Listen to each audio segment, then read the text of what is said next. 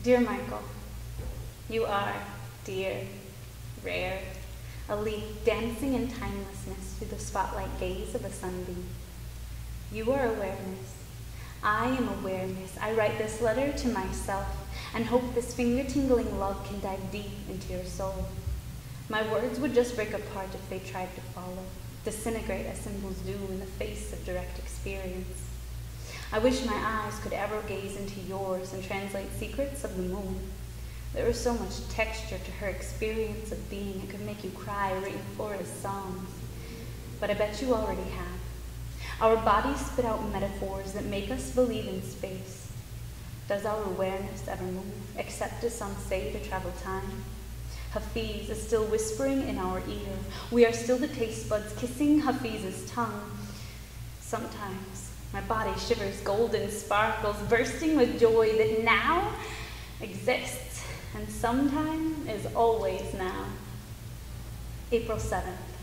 I confuse islands for clouds below the flying machine I'm snuggled inside. Did Puerto Rico just happen?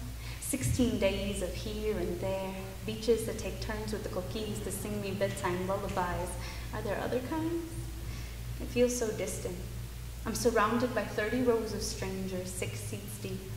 A blind man on a plane ride between Fresno and Flagstaff pointed out to me that this one group of people will never be together again. Puerto Rico is foggy, but you, you are as vivid as dew. I am still resting in your embrace, catching my cosmic breath. Awareness you've shown me is powerful. I want to shout this to the entire cabin. Do they realize the delightful miracle of our combined proximity? I swam in the goddess when you loved me. I want to thank you, and so I will, every time I meet you in a different disguise. Words feel inadequate, and what words can contain the universe inside of them without breaking to pieces in excitement?